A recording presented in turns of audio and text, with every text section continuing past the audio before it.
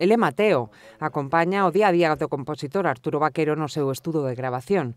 Faino desde o pasado sábado, o día que se celebraron os premios Mestre Mateo e o compositor lucense recibiu uno como premio a mellor banda sonora polo filme de animación O Apóstolo.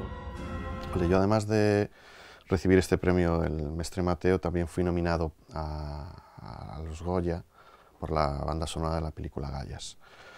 Eh, Normalmente todos los premios son, son muy importantes porque se dice que, que son como un reconocimiento a, a, tu labor.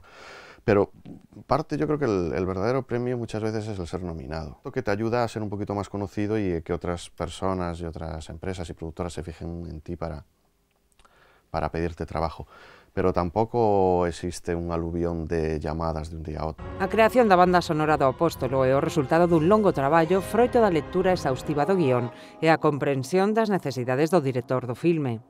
Y después viene el trabajo ya que es ya como más, eh, digamos, más de hilar fino, que es cuando te pasan todas las imágenes y digamos de que tienes que crear esa música y sincronizarla eh, casi frame a frame con, con las imágenes que te, que te pasan.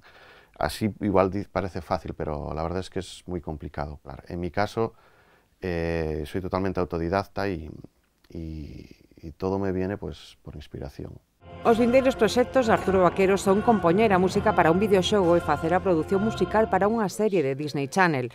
A súa empresa, Abrigueiro Producións, colabora habitualmente coa Fundación TIC en accións de formación complementaria dos alumnos da EIS. Días mapeando allí, entonces hoy